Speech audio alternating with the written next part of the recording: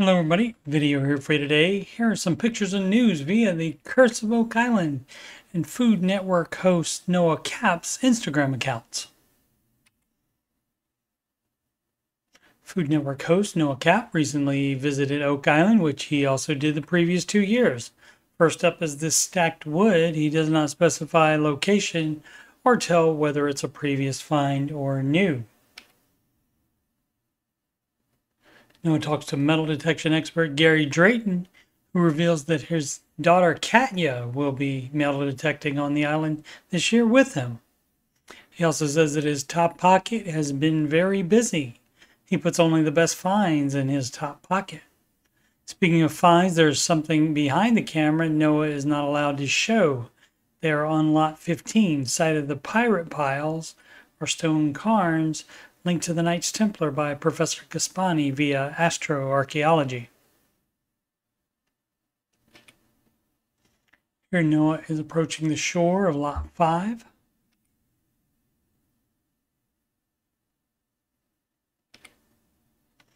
Jack Begley says they have found more things underground on Lot 5, and he still thinks there are other structures to be found there.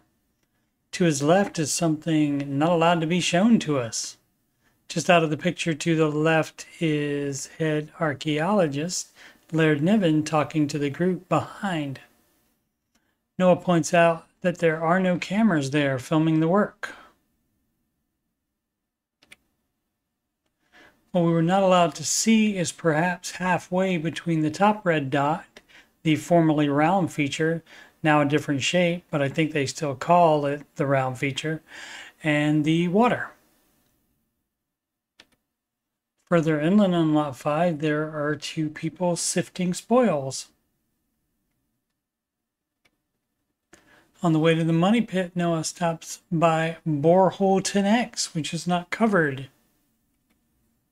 So he shows us inside.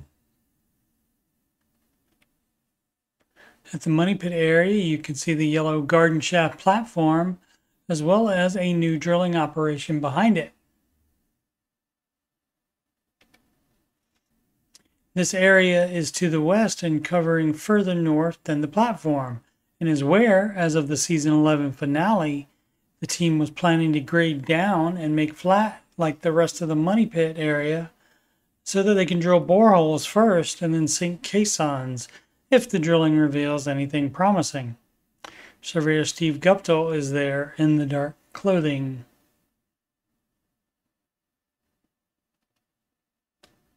There are again no cameras filming this drilling operation. Charles Barkhouse is overseeing it.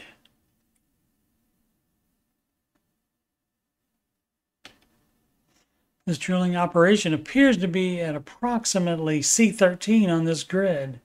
To find C13, start at the number 13, which is A13, then go one square down, which is B13, and then imagine one more square down for C13. The drillers have a core bag for Charles. Noah got to cut it open, but I didn't include a picture since it was just dry till. Noah heads to the shore from what I think is the top of the swamp to the left of the Nolan driveway. Shout out Zig, who would know for sure. Rick is standing on the right side in front of the excavator. The excavator gets to work here. Perhaps this is the north side possible dam structure that they hadn't followed up on since needing a permit to dig deeper. They have found structures on both the south and north side of the swamp. Fred Nolan believed that there were once two islands and that a ship was sailed in between them and sunk. Then it was covered up, building the dams and manipulating the area in between into what we now see as the swamp.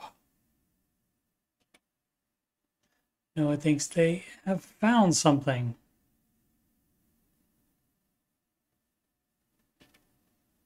Another location it could be is part of the expanded tree of life that includes the stones of Nolan's cross perhaps one of the top two there that are near the shore.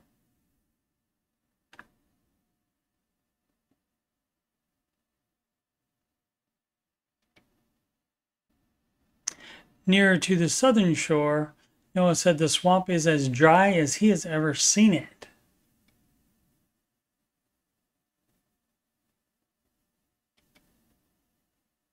The shot appears to be more near the eye of the swamp. And finally, this is the anchor stone near the South Shore Road. It is toppled on its side for some reason.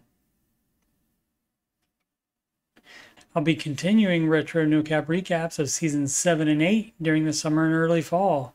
All of the other episodes are already done and are in my Oak Island playlist above left. Season 12 will most likely start airing in November of 2024. I'm also doing retro no cap recaps of The Secret of Skinwalker Ranch seasons 1 through 4. Part of season 1 and all of season 5 are already done and are in that playlist in the above right. Thanks so much for watching. Please subscribe, like, and comment. Sempre avanti.